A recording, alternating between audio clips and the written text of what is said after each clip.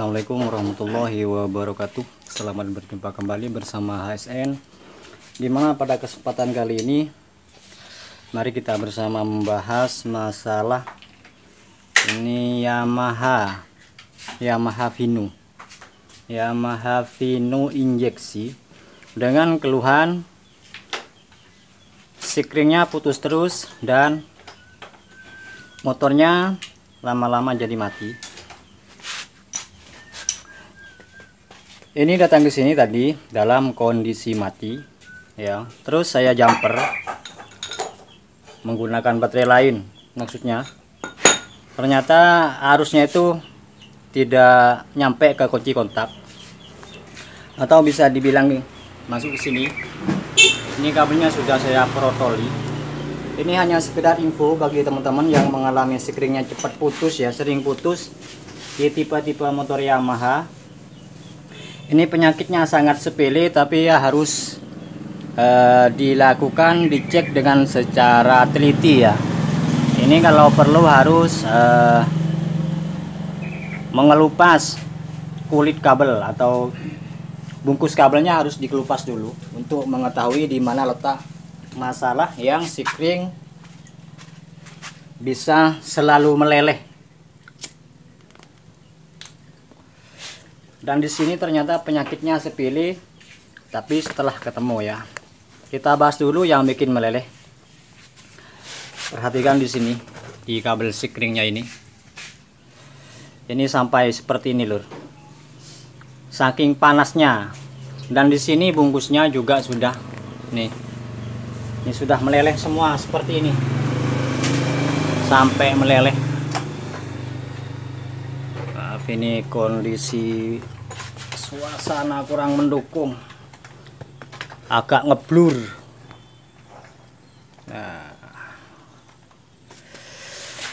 Di sini terjadi meleleh bungkusnya. Terus bungkusnya di sini juga bungkus kabelnya seperti ini sudah sampai meleleh ya. Dan di bagian sini juga meleleh. Tadi sempat dibikin bingung juga ini jalur atau yang berhubungan ke kunci kontak ini semuanya meleleh bungkusnya sampai meleleh. Karena apa? Karena sekring ini seharusnya tidak menggunakan kawat seperti ini ya. Ini sama yang punya motor atau sama yang mengerjakan motor ini sebelumnya berhubung sikringnya putus terus ini dikasih kawat seperti ini ini sangat tidak bagus atau bisa merusak komponen-komponen yang lain ya.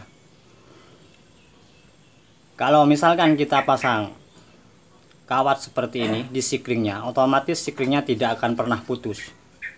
Akan tetapi efeknya akan menjalur ke kabel-kabel yang lain. Dan hasilnya akan tetap sama ya motornya akan tetap mati. Karena ada kekonsletan terus dia selalu nempel nempel karena sikringnya tidak mau putus karena fungsi sikring adalah mengamankan apabila ada kabel atau komponen yang bermasalah atau konslet. Nah, jika sikringnya di model seperti ini dipakein kawat, otomatis sikringnya tidak akan putus.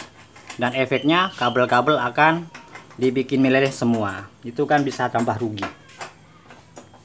Jadi bagi teman-teman yang mengalami hal sikringnya cepat putus, itu alangkah baiknya dicek semua kabel-kabelnya ya.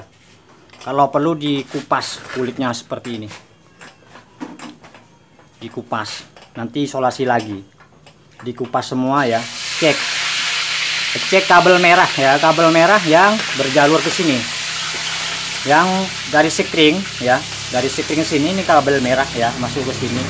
Ini langsung ke kontak sini eh langsung ke sini. Langsung ke kontak sini. Habis kunci kontak ini keluar kabel coklat. Jadi pas saya cek begini ke sini masih aman. Cabut dulu. Hmm. ini kan arus dari kunci kontak dulu. Maksudnya dari sikring langsung ke kunci kontak. Kabelnya warnanya merah. Nih. Di sini. Ya nyala kan? Setelah kunci kontak ke sini ini masih normal tadi. Nah masih normal nyala akan tetapi setelah disambungkan ke kabel coklat di sini nah. Hmm. tadi dia nyalanya jadi redup. Nyalanya jadi redup. Kalau jadi redup otomatis ada kabel yang konslet dari jalur kabel coklat yang keluar dari kunci kontak dan jalurnya ini ke mana saja? Ini ke keseluruhan untuk komponen yang ada di sepeda motor. Karena ini arus positif atau arus setrum yang dari aki. Kan ini bercabang-cabang lur. Kalau tidak percaya di sini. Kabel coklat ini bercabang ke mana-mana ini.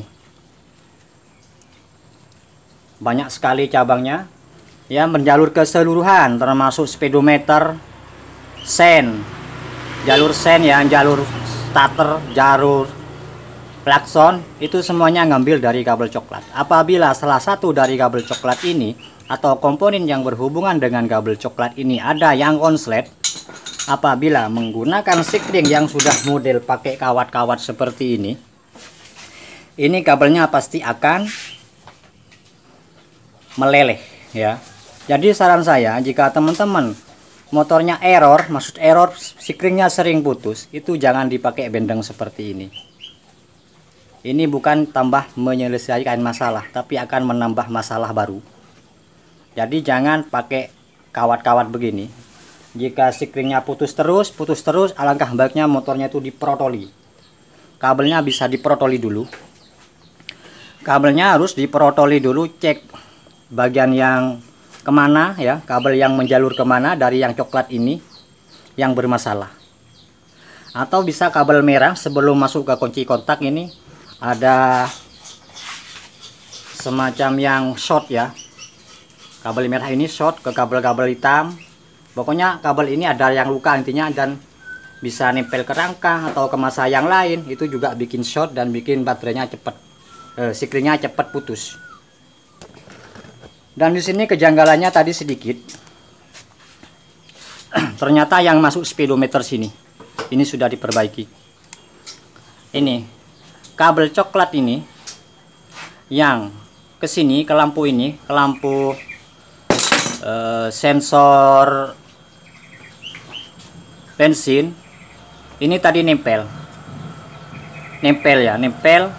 Alhasil bikin baterainya itu sering putus karena seharusnya di sini masuk ke sini itu dalam kondisi baik ke yang coklat ini. Nah seperti ini. Akan tetapi tadi ini yang coklat ini nempel ke sini. Ke kabel yang hitam. Dan bikin sikringnya cepat putus. Dan masalahnya di sini untuk sepeda motor ini. Ini hanya membagi info apabila sikringnya sering putus itu jangan pakai yang seperti ini atau di jumper-jumper pakai kawat seperti ini ya. Ini akan tambah merusak motor.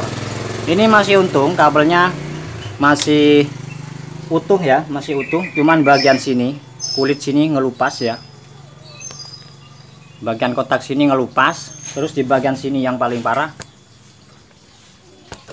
di bagian ini sikringnya nih meleleh kulitnya meleleh dan juga di bagian sini juga meleleh jadi ini hanya sedikit info. Tapi mungkin masalahnya tidak akan sama. Tapi mungkin cara perbaikannya itu sama. Karena yang konsep tidak mungkin sama. Di sini saya menemukan kekonsletan di sini. Tapi mungkin di sepeda motor lain akan terjadi konslet di kabel yang coklat yang menuju sensor-sensor yang lain. Ya. Jadi harus teliti saja. Makanya saya di sini mengelupas kabel ini supaya cepat ketemu di mana yang short dan di bagian mana yang terjadi konslet karena setiap masalah sepeda motor walaupun walaupun penyakit sama itu perbaikannya itu tidak sama Nah, ini hanya sekedar info ya. Semoga nantinya video ini bisa bermanfaat, bisa menambah sedikit wawasan. Dan di sini saya tidak bermaksud untuk menggurui, hanya berbagi eh, pengalaman lah, berbagi pengalaman. Apabila terjadi sikring sering putus, itu teman-teman jangan pakai sikring atau sikring yang sudah dibendeng-bendeng seperti ini. Ini sangat tidak direkomendasikan. Jadi langkah baiknya kita telusuri. Semua kabel-kabelnya telusuri. Itu tidak mungkin itu pasti sudah ada yang short. Kalau tidak short tidak akan sikringnya putus kan pemahamannya seperti itu. Tapi pengerjaannya harus dengan secara teliti dan sabar. Ini sudah dari tadi sudah hampir satu jam ya baru ketemu penyakitnya ini. Ternyata penyakitnya di sini. Kabel ini yang ada yang menuju ini. Sensor bensin. Ini yang jadi masalah. Oke semoga bermanfaat. Terima kasih. Wassalamualaikum warahmatullahi wabarakatuh